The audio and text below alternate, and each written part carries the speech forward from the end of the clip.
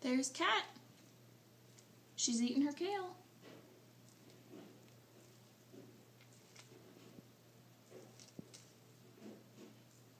She likes it.